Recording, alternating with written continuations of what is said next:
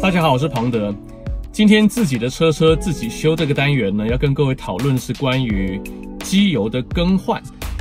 怎么样的机油更换方式呢，可以把机油换得最彻底？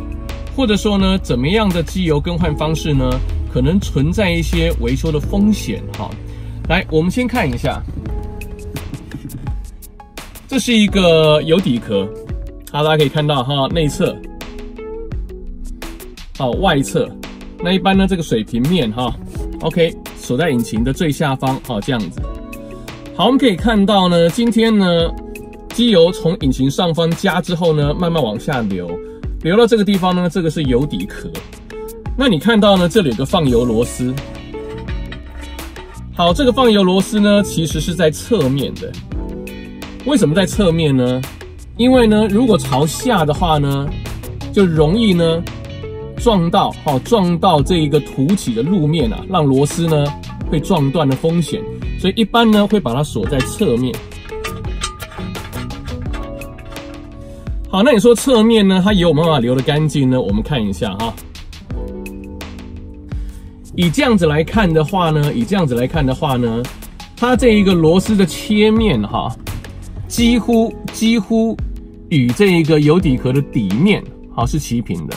但是呢，还是稍微高起来一点点。也就是说，看到这个地方，我们可以可以确认一件事情，就是说，用放油螺丝来放机油的话呢，其实是没有办法百分之百换得干净的。当然呢，你说有没有必要要换到每一吸吸的都要计较？我自己觉得没有这个必要了哈，我就觉得没有这个必要。但是呢，庞德老师呢，常常换机油的时候呢，我会用抽的方式。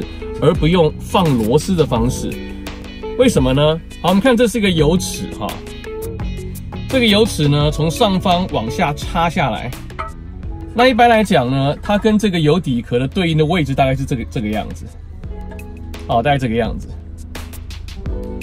也就是说呢，今天如果说呢，透过这一个油尺来吸油的话呢，有可能呢会比起放油螺丝。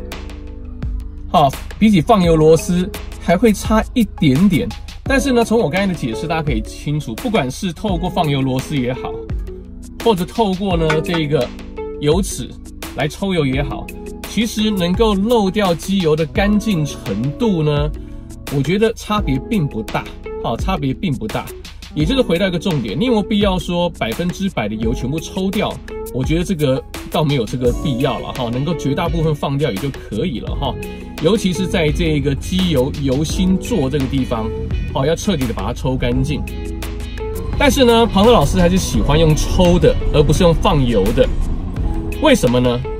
因为呢，每一次的这一个放油螺丝的拆跟装，其实呢，对螺丝来讲都是一次磨耗。而现在呢，比较新款的引擎，由于要轻量化。油底壳呢，常常做成是铝的，那你这一个螺丝是钢牙还好，而油底壳本身呢是铝的，铝质的牙，所以呢，正常的锁放就有一定程度的磨耗，更不要说有时候呢，施工的时候紧度过大，或者说吃牙有点歪斜的话，其实这个油底壳非常容易呢，非常容易受伤。好，所以为了避免这个问题，其实呢，我都比较倾向哈，如果能用抽的，我就用抽的。为什么讲如果呢？因为很多新款的车型已经不提供油尺了，你除了放油，还没有别的办法。那当然，也许这些新款车也伴随着呢，它的这个换机油里程比较长，可能呢八千、一万甚至一万五。但是呢，如果说以庞德老师认为五千到八千呢是一个最理想的一个更换周期的话呢，频繁的。在拆装这个螺丝变成是一个日常，那这样是一个风险。好，那大家也知道，庞老师通常都是开中古车哈。那如果说呢，今天你这个车子来的时候，发现哇，已经滑牙喽，锁紧一点呢，哎，好像空空的哦。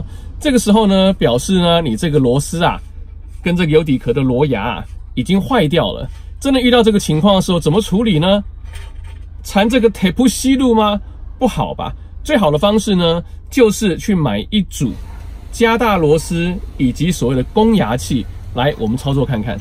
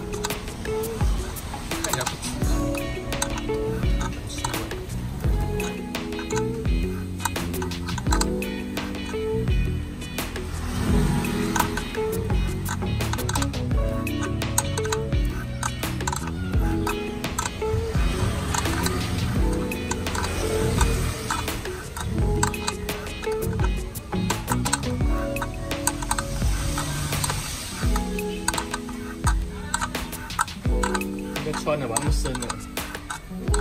它那前面是比较尖的，比较没那么薄。